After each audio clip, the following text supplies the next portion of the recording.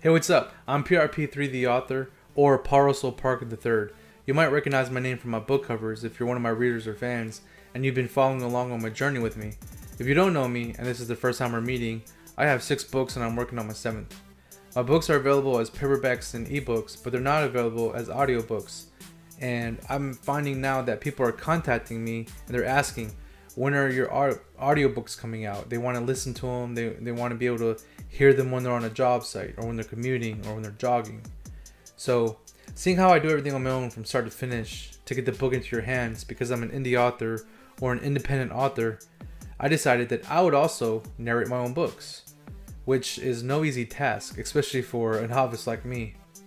And um, narrating a book means more than just speaking into your built in microphone on your computer and then hitting upload.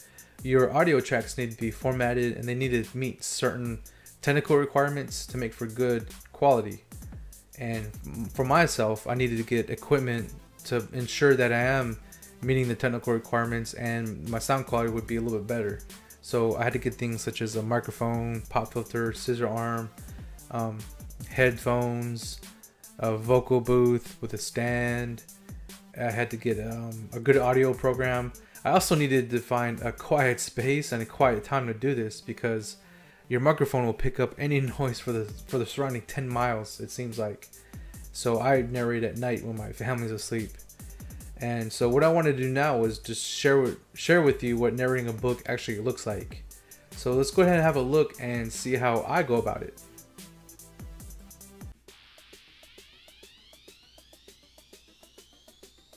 prologue lords and ladies chamber castle mount Valen, kingdom of Kalevala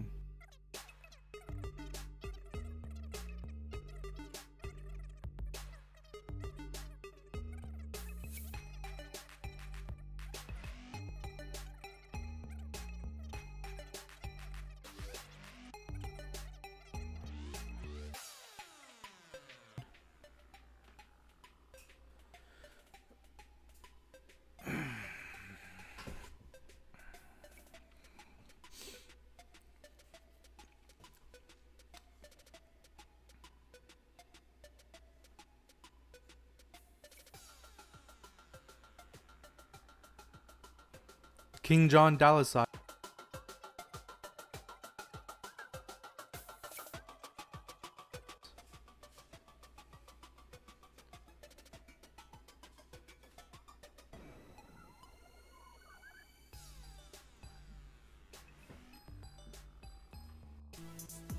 That was pretty fun, wasn't it? Me and my element, creating. As you saw, it's not the easiest work, it's time consuming, and you know even your throat can get coarse over all that talking because when you're trying to put down a track that's a whole chapter and that could take a long time because you need to get it perfect because you want your reader to have the best experience. I was actually reading a selection from one of my books to create an audio sample for prospective buyers so they could hear what they're about to purchase. And having the sound equipment's instrumental in what i'm doing but so is having the kind of computer i have and having the audio program i have. And the computer itself is a touchscreen which is great because it's quiet. If you hear me now i don't know if you're picking that up but that's the mouse scrolling. That's the mouse clicking. And i don't want the reader to hear that in the audiobook because it's distracting and it takes away from their experience.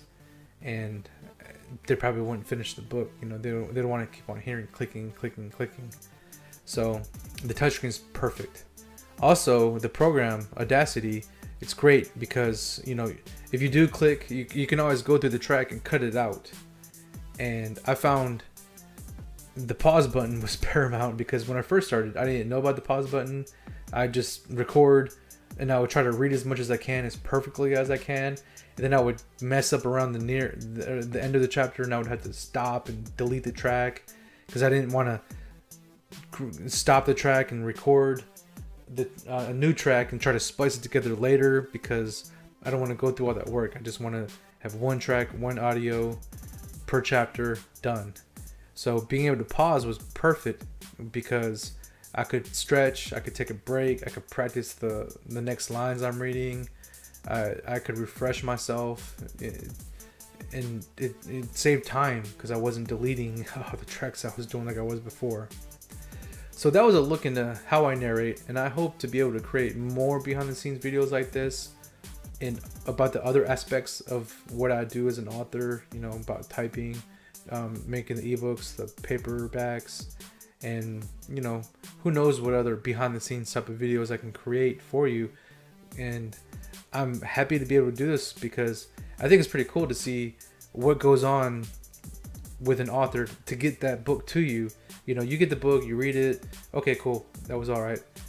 But then, you know, you don't actually know what it's like, like to actually type, to actually create the content, and it's it's all it's a lot of work to get, you know, a lot of work and effort to get you that book, so you can read it, you know, and I think that would probably give you a, a new kind of appreciation for what authors do, you know, and er, and not just indie authors, you know, even other authors may do this, they may not do this. They, you know, there's other people in the industry who do this for a living, like narrate, and you might not think about what it's like to, you know, to get that book for you. Well, it, it's a process. It's it's a long process, but it's a rewarding and fun process, and I'm happy to share it with you. So, that's it for this one.